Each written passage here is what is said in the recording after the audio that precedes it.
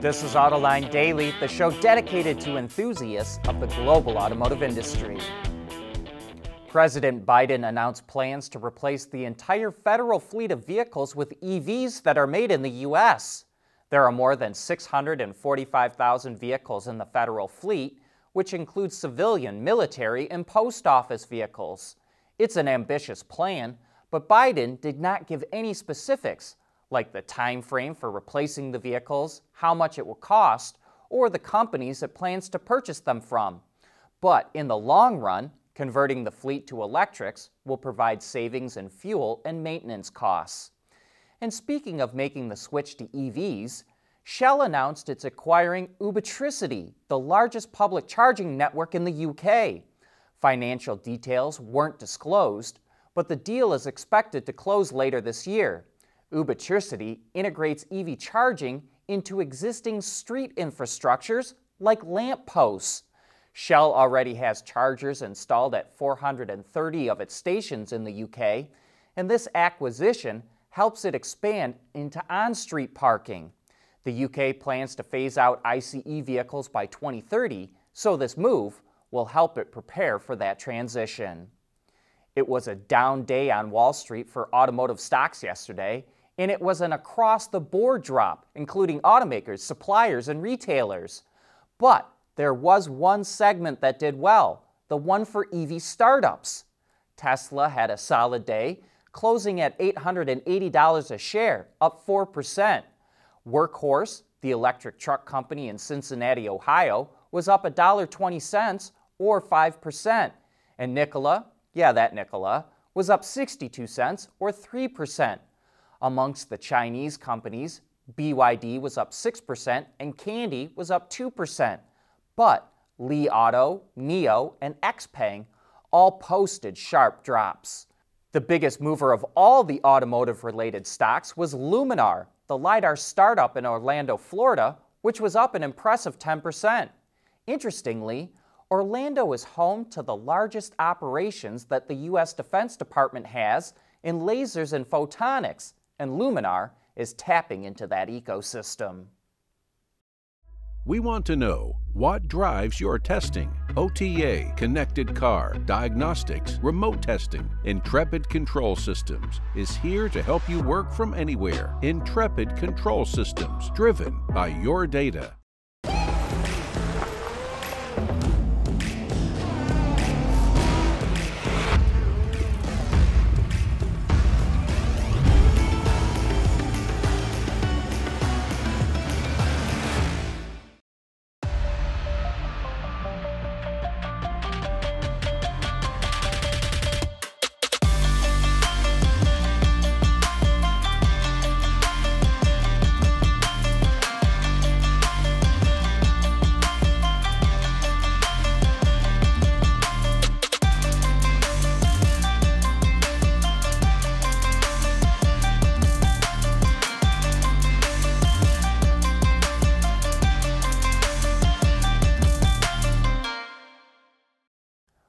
Ford's longtime head of design is retiring. Moray Callum, who is 62, is stepping down after 38 years in the auto industry.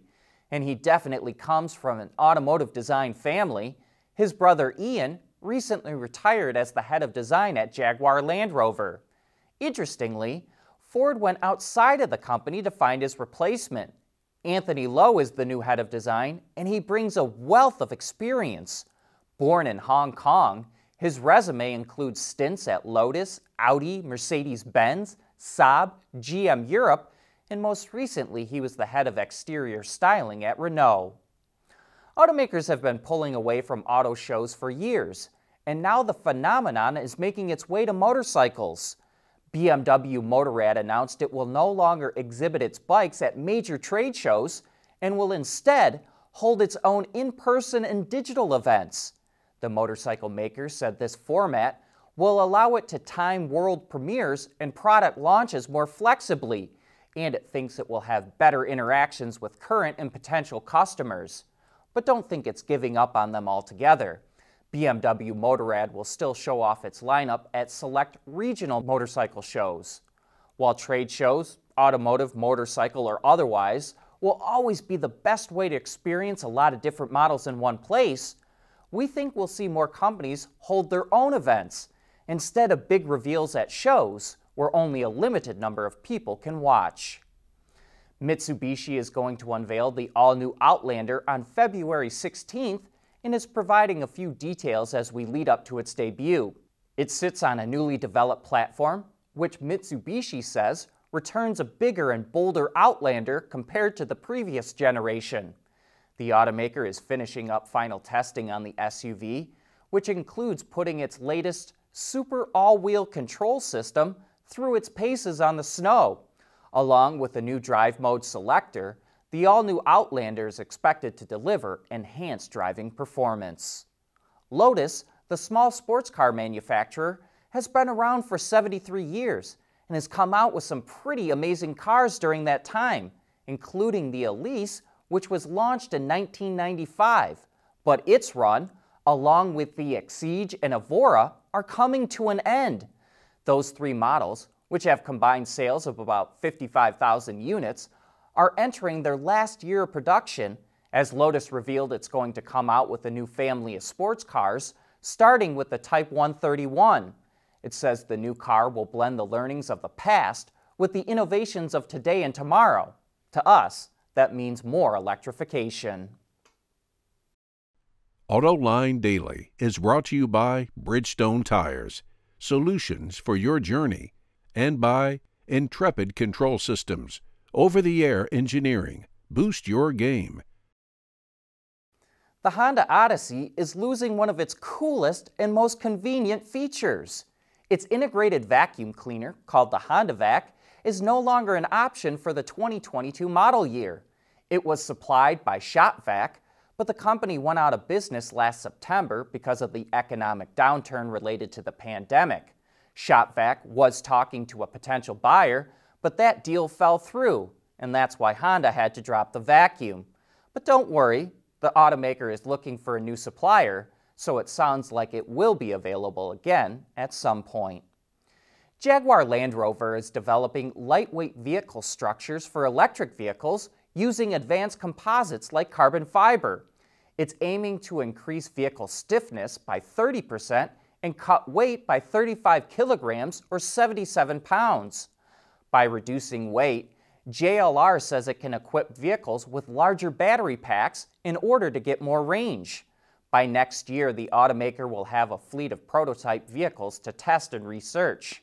This is part of a project led by Jaguar Land Rover that includes academic and industry partners with the goal of preventing 4.5 million tons of CO2 emissions between 2023 and 2032. The NFL's big game is on Sunday, February 7th, and it's not just the Kansas City Chiefs or Tampa Bay Buccaneers who can win big, so can you. If a safety is scored during the game, Volvo is going to give away $2 million worth of vehicles. You can build a vehicle on Volvo's configurator or have one recommended to you, and if the safety happens, Volvo will start picking winners at random. I don't really care who wins, I'll just be rooting for a good game. And now that also includes rooting for a safety so some people can get some free cars. That's it for today. Thanks for watching, and we'll see you again tomorrow.